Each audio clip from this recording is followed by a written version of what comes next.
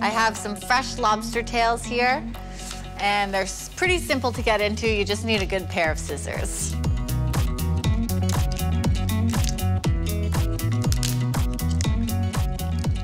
And look at that, it just comes right out. For me, lobster is one of those things that I only really have on special occasions.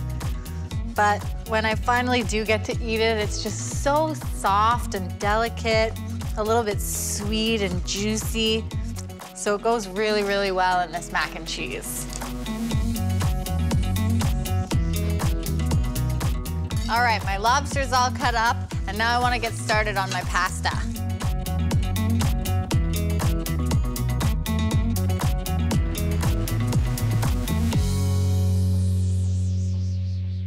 Everybody has their favorite noodles for mac and cheese. It's totally your call, but I'm gonna use shells.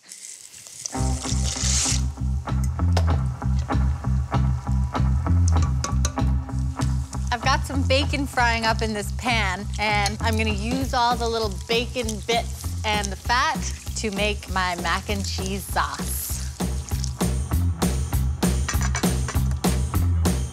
Bit of fresh garlic right into the bacon fat. Some cayenne for heat. And dried mustard for a bit of a kick. Another thing that makes my mac and cheese all grown up is a bit of dry vermouth.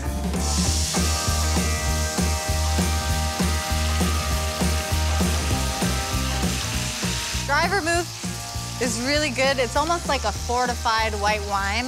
Goes really, really well with lobster, and it's also gonna help to deglaze my pan and pick up all of those delicious brown bacon bits. I've got another little trick up my sleeve, evaporated milk. It's gonna make it really rich and creamy. Some regular milk.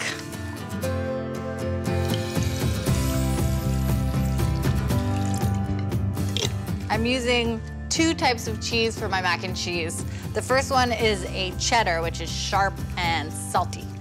And the second is Fontina, which is a little bit more creamy and nutty.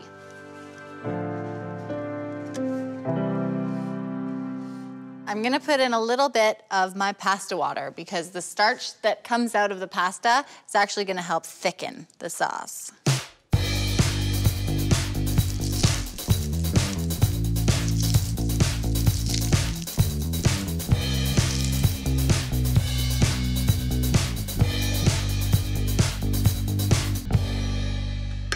I think I want to add some fresh chives for a pop of green.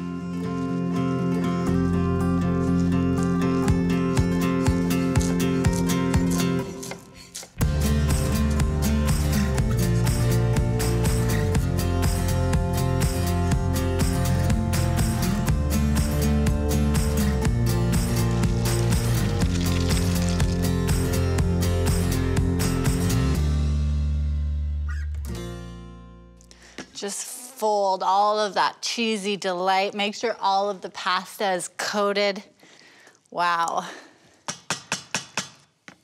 I'm gonna finish my mac and cheese off in the oven, but first, a crunchy topping to round the whole thing out. A little bit of extra cheese. All good mac and cheese has a crunchy topping. So for this mac and cheese, I'm gonna crunch up some salty potato chips.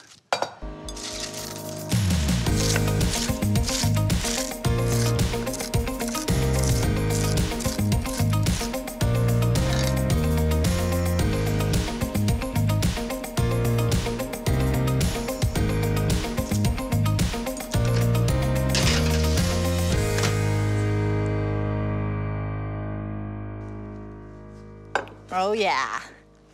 This just came out of the oven, so it's gonna be really, really hot. I'm probably gonna burn my mouth, but it's totally worth it.